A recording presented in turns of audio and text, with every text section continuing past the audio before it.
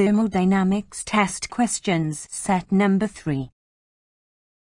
Question 1 Which among the following is an intensive property of a system? A. Volume. B. Energy. C. Pressure. D. All of the above.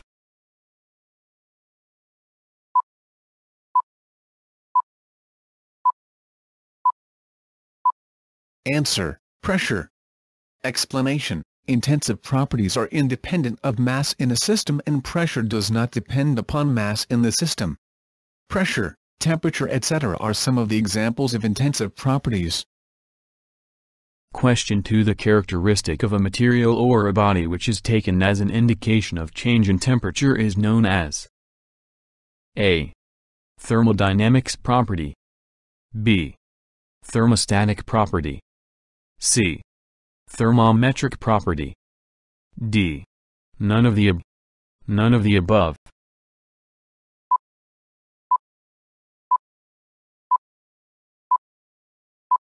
Answer, thermometric property.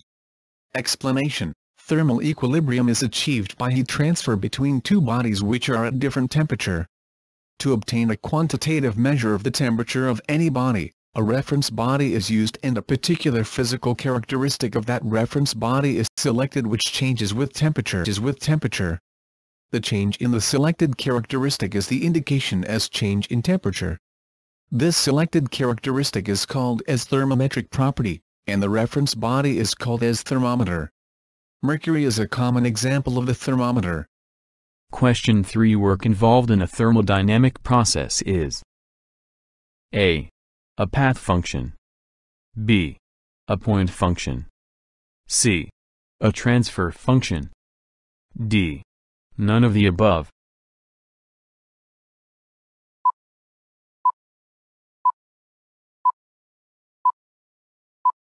Answer, a path function. Explanation, as shown in above diagram, the thermodynamic system can be taken from state 1 to state 2 along many quasi-static paths like path A, B or C. The area under the curve indicates the amount of work done for each process. But those areas under each curve is curve is different. Therefore the work involved does not depend upon the final state B but it depends upon the path by which the system is taken to the final state. Thus the work involved in thermodynamic process is a path function. Question 4 Clausius statement is related to A. Heat engine operating in a cycle. B. Heat pump operating in a cycle. C. Both A and B. D. None of the above.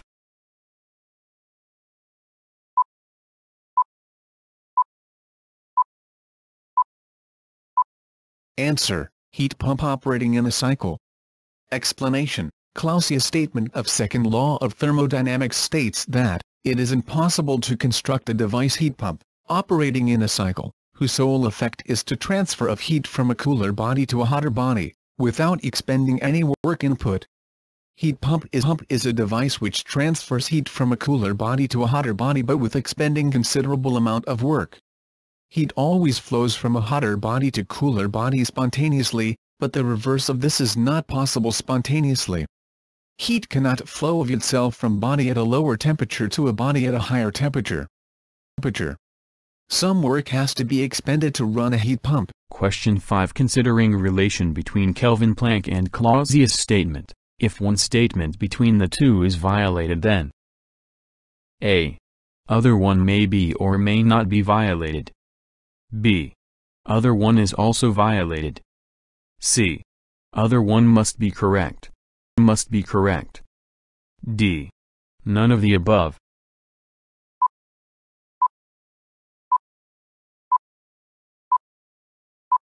Answer. Other one is also violated.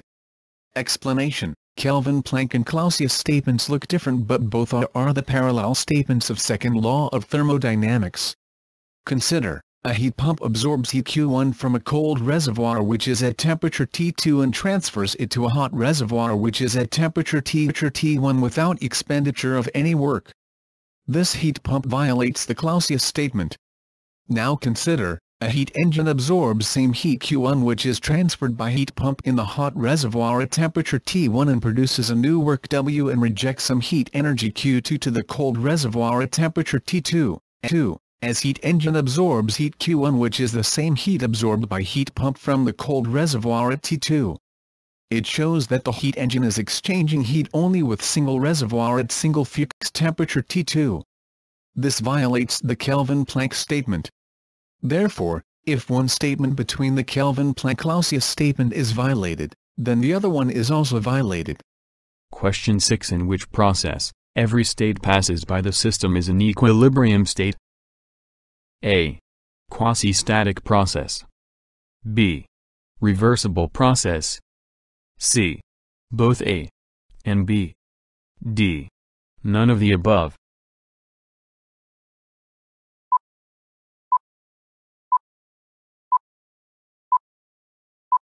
Answer, both A and B. Explanation, a reversible process is the process in which, after completing the process, both the system and surroundings can be restored to their initial state, without producing any change is the rest of the universe equivalence of Kelvin-Planck and Clausius statement.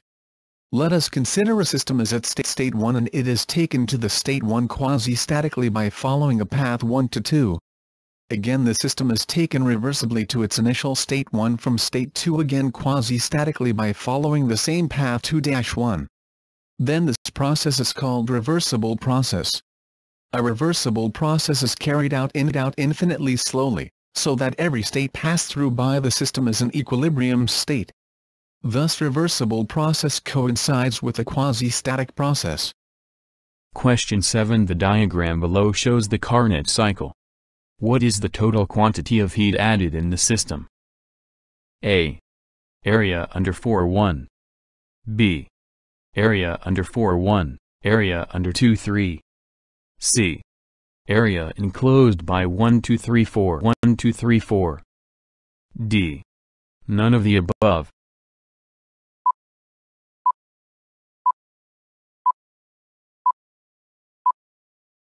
Answer area under 4-1. Question 8 Which condition is correct according to the entropy principle? A. The entropy of an isolated system can never decreases. B. The entropy of a system remains constant only when the process is reversible. C. The entropy of a system increases when the process increases when the process is irreversible. D. All of the above.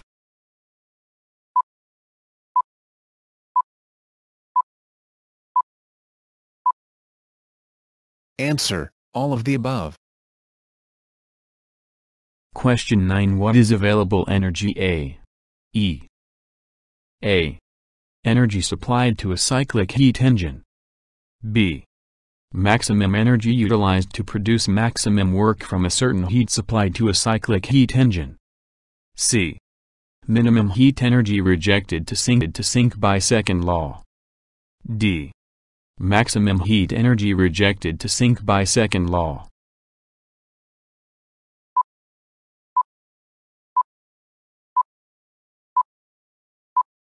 Answer, maximum energy utilized to produce maximum work from a certain heat supplied to a cyclic heat engine.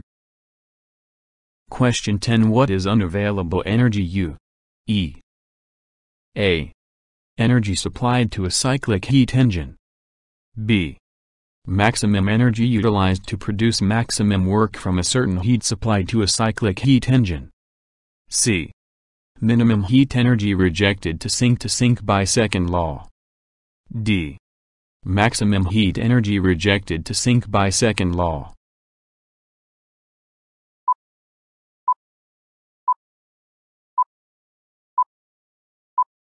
Answer, minimum heat energy rejected to sink by second law.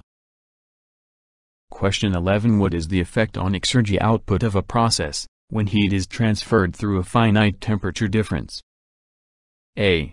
Exergy output increases. B. Exergy output decreases. C.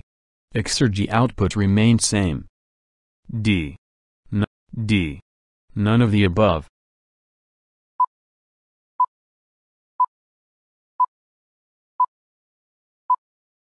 Answer. Exergy output decreases. Question 12 What is the saturated solid state? A. A state at which solid can change into liquid at constant pressure but changing temperature. B. A state at which solid can change into liquid at constant temperature but change in pressure. C. A state at which solid can change solid can change into liquid at constant pressure and temperature. D. None of the above.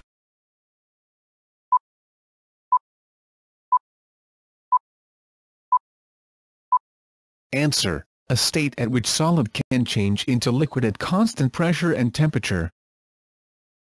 Question 13 What is the state, at which saturated liquid line with respect to vaporization and saturated vapor line on PV diagram of pure substance, meet called? A. Saturation state. B. Critical state. C. Vaporization state. Vaporization state. D. Superheated vapor state.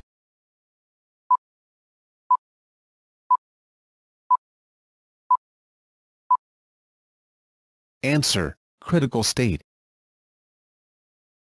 Question 14 The volume occupied by one number of unit moles of gas is called as A. Molecular volume B. Moles volume C. Molar volume D. None of the above.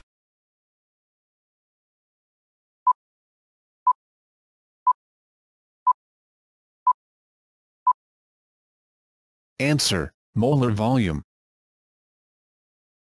Question 15 A gas being the best behaved thermodynamic substance, what is the relation between the ratio of pressure P of a gas at any temperature to pressure Pt of same gas at triple point temperature and the nature of gas? A. The ratio P, Pt approaches a constant value which is dependent of value which is dependent of nature of gas. B. The ratio P, Pt approaches a constant value which is independent of nature of gas. C. The ratio P, Pt approaches a various values which are dependent of nature of gas. D. None of the above.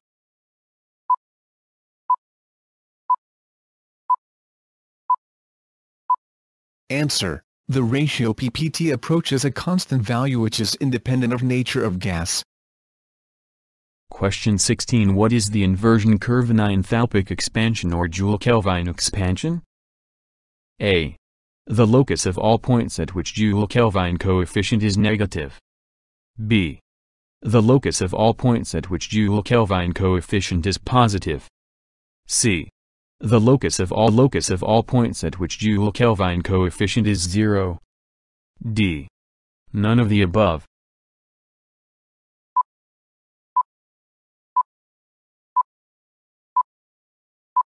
Answer. The locus of all points at which Joule-Kelvin coefficient is zero.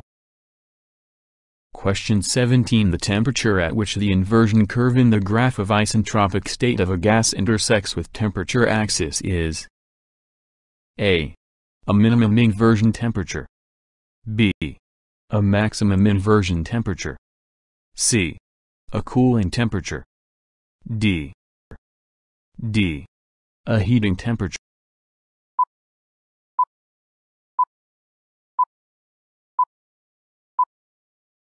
Answer. A maximum inversion temperature.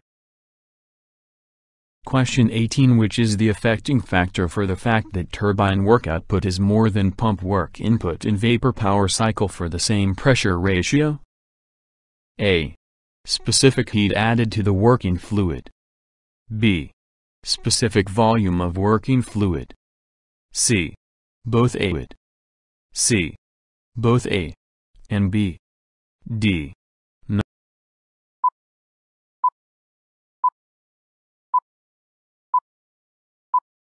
Answer. Specific volume of working fluid. Question 19 Which loss does present an actual vapor power cycle at the exit of the boiler and at the entry of the turbine? A. Friction loss. B. Constant pressure heat loss. C. Both A. and B. D. None of the above.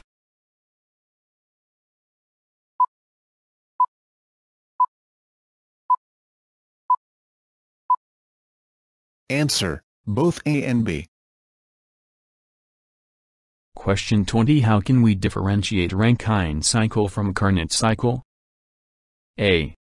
Heat addition process of Rankine cycle is reversible isothermal whereas heat addition process of Carnot cycle is reversible isobaric. B.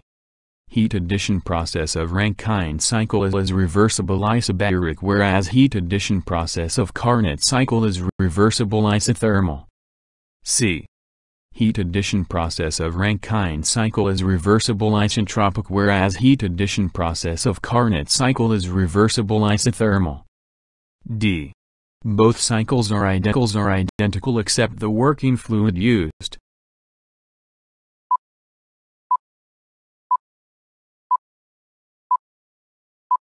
Answer, heat addition process of Rankine cycle is reversible isobaric whereas heat addition process of Carnot cycle is reversible isothermal. Question 21 How is the efficiency of the C engine affected by change in specific heat ratio? Of the working fluid? A. The efficiency of the engine increases with increase in specific heat ratio? Of the working fluid. B. The efficiency of the engine decreases with increase in with increase in specific heat ratio? Of the working fluid. C. The efficiency of the engine does not affected by change in specific heat ratio? Of the working fluid. D. None of the above.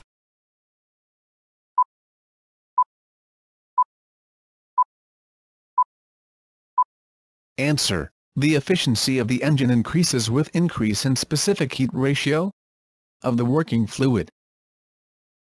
Question 22 For the same capacity engines, the compression ratio of diesel engine A is lower than the compression ratio of C engine. B is higher than the compression ratio of C engine. C is same as the compression ratio of C engine. O of C engine. D. Cannot say.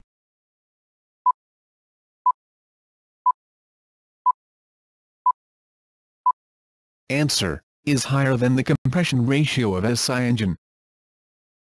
Question 23 Rate of burning in the compression ignition engine can be controlled by A. Rate of injection of fuel B. Rate of air taken into carburetor C. Both A and B. D. None of the above.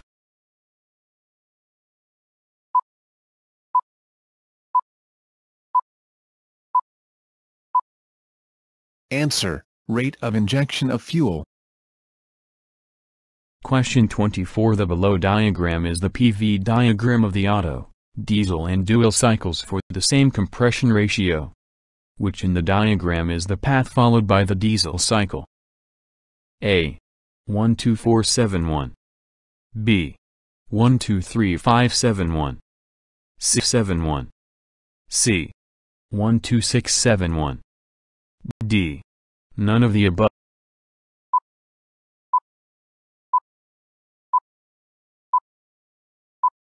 Answer 1 minus 2 minus 6 minus 7 minus 1 Question 25 The Brayton cycle which is used in aircraft Automotive is A. A closed cycle. B. An open cycle. C. Either closed or open cycle. D. Cannot say.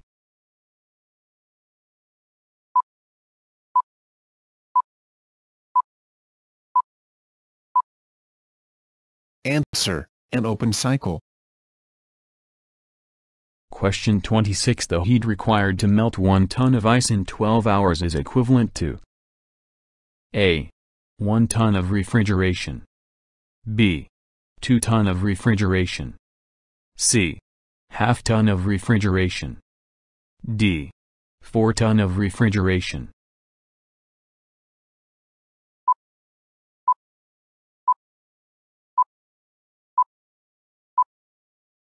Answer 2 ton of refrigeration. Question 27 1 ton of refrigeration is approximately equal to A. 3.5 kilojoules per minute B. 3.5 W. C. 211 kilowatts. D. 211 kilojoules per minute.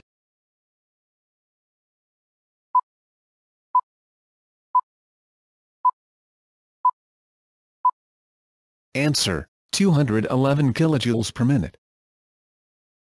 Question 28 What is the main reason behind subcooling of liquid refrigerant at the condenser outlet in vapor compression refrigeration system? A. To increase the refrigerating effect. B. To reduce the mass of vapor formed during expansion process. C. To C. To reduce vapor bubbles which obstruct the flow of liquid refrigerant. D. All of the above.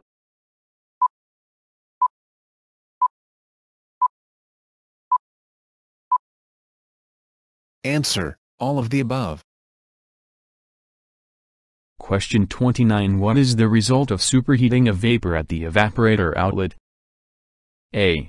No liquid droplets will travel to the compressor. B. The compressor discharge temperature increases. C.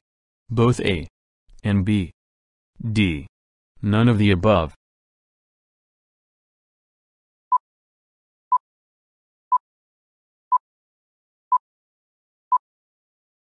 Answer, both A and B.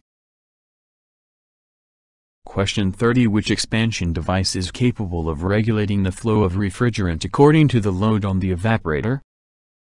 A. Capillary tube. B.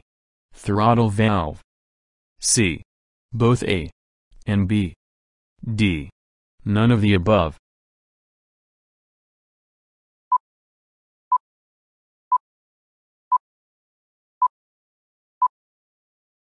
Answer, throttle valve. Question 31 Which compressor is used when volume flow rate of refrigerant is very large? A. Rotary compressor. B. Reciprocating compressor. C. Centrifugal compressor. D. None of the above.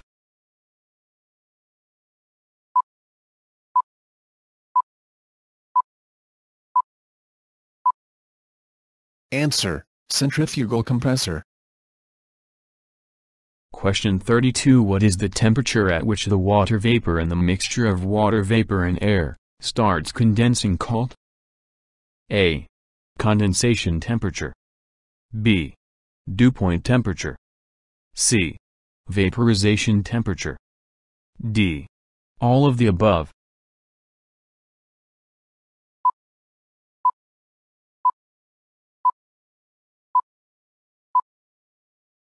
Answer, dew point temperature.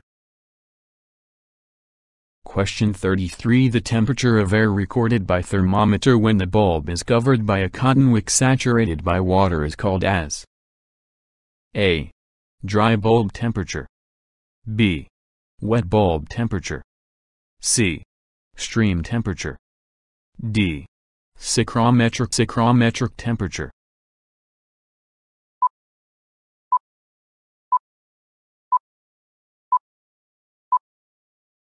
Answer, wet bulb temperature. Question 34 Which temperature can be measured by an instrument called psychrometer? A. Dry bulb temperature. B. Wet bulb temperature. C. Both A and B. D. None of the above.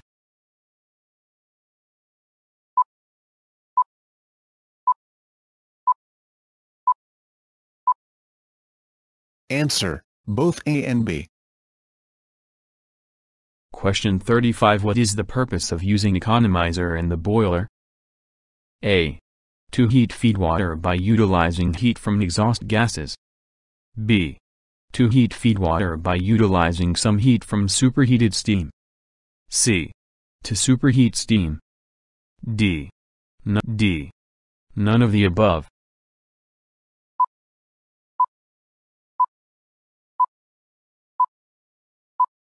Answer, to heat feed water by utilizing heat from exhaust gases. Thanks for watching. Please comment like and share.